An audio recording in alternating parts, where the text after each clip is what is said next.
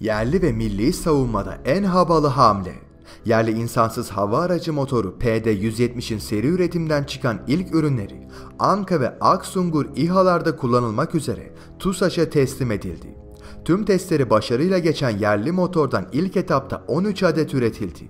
İhtiyaç duyuldukça motor üretimi seri olarak devam edecek savunma sanayi alanındaki milli ve yerli hata sürüyor. Kendini savunma ürünlerini tepeden tırnağa yerli üretimle donatan Türkiye'de 2019 yılında teslimatlar damga vururken 2020 yılında hızlı başladı.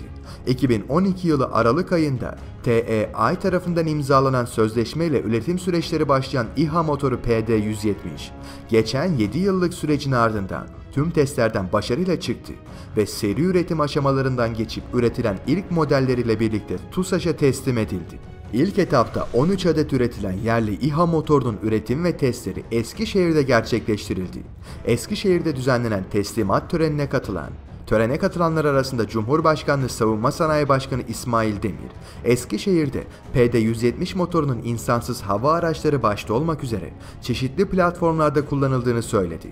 Eskişehir'de bulunan Yönetim Kurulu Başkanı ve Genel Müdürü Mahmut Faruk Akşit ise motorun tamamen Türk mühendislerinin, işçilerinin, çalışanlarının el emeği ve göz nuru olduğunu kaydetti. Bir süredir uçuşlu testlerle de denenen PD-170 sayesinde TUSAŞ'ın etkin görevde bulunan insansız hava aracı Anka daha uzun süre havada kalabilecek ve daha fazla yakıt taşıyabilecek. Bununla birlikte daha fazla yük de taşıyabilecek. PD-170 Ti'nin ilk İHA motoru olsa da 170 beygirlik bu motora ek olarak 220 beygirlik PD-220 de üretilecek ve Akıncı gibi daha büyük milli İHA'larda göreve üstlenebilecek. TUSAŞ'a teslim edilen bu motorların yenileri üretilecek. Anka ve Aksungur İHA'da kullanılması planlanıyor. İhracat konusunda da ülkemizin elini güçlendirecek olan motorlar, hava araçlarında kullanılacak motorların geliştirilmesi noktasında bir bilgi birikimi oluşturmaya başladığının bir göstergesi olarak son derece önemli bir konuydu. Bilindiği üzere ülkemizin son dönemde savunma sanayi alanındaki en önemli eksiklerinin başında motor geliyor ki zaman zaman ihracat önünde de bu durum önemli bir engel teşkil ediyor.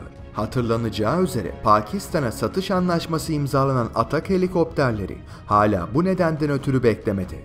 Bunun yanı sıra milli muharip uçak için TR Motor tarafından geliştirilme süreci devam eden jet motorunda da yaklaşık olarak 2026-2027 yılları civarında ilk test çalışmalarının başlamış olacağı tahmin ediliyor. Türkiye yerli ve milli olarak savunma sanayinde önemli adımlar atmaya devam ediyor. Türkiye'nin savunma sanayi hakkında, Türkiye'nin iç ve dış siyaseti hakkında güncel bilgileri hemen haberdar olmak istiyorsanız kanalımıza abone olabilirsiniz.